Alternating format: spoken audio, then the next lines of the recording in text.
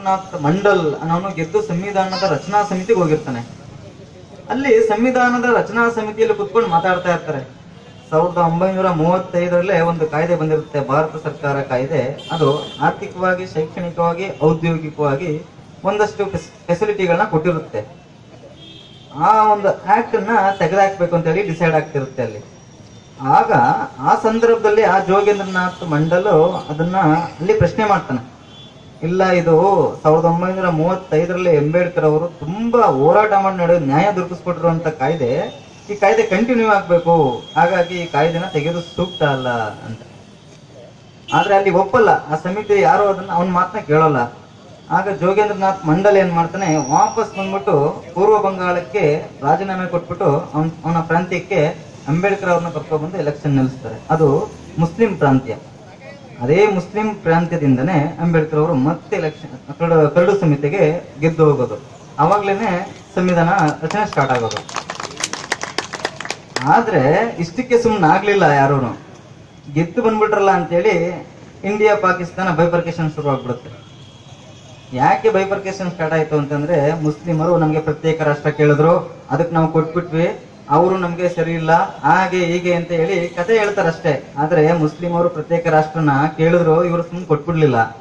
ಆದ್ರೆ ಪ್ರತ್ಯೇಕ ರಾಷ್ಟ್ರನ್ನ ಅಲ್ಲಿ ತಂದು ಹಿಡೋದೆ ಅಂಬೇಡ್ಕರ್ ಅವರ ಪಾರ್ಲಿಮೆಂಟ್ ಸದಸ್ಯತ್ವ ಸಂವಿಧಾನ ರಚನಾ ಸಮಿತಿ ಸದಸ್ಯತ್ವ ಇರುತ್ತಲ್ಲ, ಅದನ್ನ ರದ್ದು ಮಾಡಬೇಕಾಗಿರುತ್ತೆ. ಆ ರದ್ದು ಮಾಡ್ಲಿಕ್ಕೆ ಇಂಡಿಯಾ ಪಾಕಿಸ್ತಾನ ಬೈಫರ್ಕೇಶನ್ ಶುರುವಾಗೋದು. ನೋಡಿ, ಆ ಪಾಕಿಸ್ತಾನ ಎಲ್ಲಿದೆ, ಬಾಂಗ್ಲಾದೇಶ ಎಲ್ಲಿದೆ ಆ ಎರಡನ್ನೂ ಕಿತ್ತು ಇದು ಮುಸ್ಲಿಂ ಯಥೇಚ್ಛವಾಗಿರುವಂತ ಜಾಗ. ಹಾಗಾಗಿ ಇದನ್ನ ಪಾಕಿಸ್ತಾನ ಮಾಡ್ಬಿಡೋಣ ಅಂತ ಹೇಳಿ ಅದನ್ನ ಪೂರ್ವ ಪಾಕಿಸ್ತಾನ, ಇದ ಪಶ್ಚಿಮ ಪಾಕಿಸ್ತಾನ ಎರಡನ್ನೂ ಪಾಕಿಸ್ತಾನ ಮಾಡ್ಬಿಡ್ತಾರೆ. ಆಗ ಅಂಬೇಡ್ಕರ್ ಅವರ ಭಾರತದ ಸದಸ್ಯತ್ವೇ ರದ್ದಾಗೋಗುತ್ತೆ. ಅವರು ಈಗ ಪಾರ್ಲಿ, ಪಾಕಿಸ್ತಾನಕ್ಕೆ ಹೋಗಿ ಸಂವಿಧಾನ ಬರೀಬೇಕು. ಆ ಥರ ಆಗೋಗುತ್ತೆ. ಆದರೆ ಅವರು ಬಿಡುತ್ತೇನೆ, ಭಾರತದಲ್ಲೇ ತನ್ನ ಸದಸ್ಯತ್ವವನ್ನು ಉಳಿಸ್ಕೊಂಡು ಇಲ್ಲಿಯ ಜನರ ಹಣೆಬರಹವನ್ನ ಬರೀತಾರೆ. ಸಮಾನತೆ ಸ್ವಾತಂತ್ರ್ಯ ಭಾತೃತ್ವ ಈ ಮೂರು ಈ ದೇಶಕ್ಕೆ ಸಿಕ್ತು ಅಂದ್ರೆ ಅದು ಅವರ ಶ್ರಮದಿಂದನೇ. ಆದರೆ ಇವತ್ತು ಅದನ್ನ ಉಳಿಸ್ಕೊಳ್ಳಿಕ್ಕೆ ಹೆಣಗಾಡುವಂಥ ಪರಿಸ್ಥಿತಿ ಎದುರಾಗಿದೆ. ಎಂಬತ್ತರ ದಶಕದಲ್ಲಿ ಮಾಡಿದಂಥ ದಲಿತ ಚಳುವಳಿಗಳು ಯಾವುದಾದ್ರೂ ಒಬ್ಬನಿಗೆ ಒಂದು ಅರ್ಧ ಎಕರೆ, ಒಂದು ಎಕರೆ ಹೋಯ್ತು ಅಂತ ಅಂದ್ರೆ ಸಾಕು. ಅವನ ಹೆಗರು ಬಿದ್ದು, ಈ ಸರ್ಕಾರದ ವಿರುದ್ಧ ತಿರುಗು ಬಿದ್ದು, ಅವನಿಗೆ ಭೂಮಿ ದುರ್ಗಿಸ್ಕೊಡ್ದಾದಂತ ದಲಿತ ಚಳುವಳಿಗಳು ಇವತ್ತು ಭೂ ಸ್ವಾಧೀನ ಕಾಯ್ದೆ ತರ್ತಾ ಇದ್ರು ಕೂಡ ತನ್ನ ಜವಾಬ್ದಾರಿಗಳಿಂದ ನುಣುಚ್ಕೊಳ್ತಾ ಇವೆ ರೈತರಿಗೆ ಜಮೀನು ಎಷ್ಟು ಮುಖ್ಯ ಅಂತಂದ್ರೆ ಮುಂದಿನ ದಿನಗಳಲ್ಲಿ ಈಗಾಗಲೇ ಅರವತ್ತು ಪರ್ಸೆಂಟ್ ಕೃಷಿ ಇದ್ದಂತ ಭಾರತ ನಲವತ್ತು ಪರ್ಸೆಂಟ್ ಕುಸಿತಾ ಇದೆ.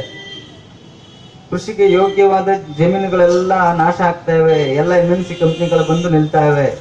ಹಾಗಾಗಿ ಕೃಷಿ ಜಮೀನುಗಳನ್ನ ಇವರು ಭಾರತದ ಭೂ ಸ್ವಾಧೀನ ಕಾಯ್ದೆ ತಂದು ಜಮೀನ ಅಕ್ವೈರ್ ಮಾಡೋದ್ರಿಂದ ಇಲ್ಲಿನ ರೈತರು ಎಂತ ಕಷ್ಟ ಸಿಕ್ಕಾಕೋತಾರೆ ಅಂತಂದ್ರೆ ಅಂತಿಂತ ಕಷ್ಟಕ್ಕೆ ಸಿಕ್ಕಾಕೊಳ್ಳಲ್ಲ ಆದ್ರೆ ಎಲ್ಲರೂ ಕೂಡ ತಮ್ಮ ಜವಾಬ್ದಾರಿಗಳಿಂದ ನುಣುಚ್ಕೊಳ್ತಾ ಇದ್ದಾರೆ. ಫುಡ್ ಅಂಡ್ ಅಗ್ರಿಕಲ್ಚರ್ ಆರ್ಗನೈಸೇಷನ್ ಸಾವಿರದ ಒಂಬೈನೂರ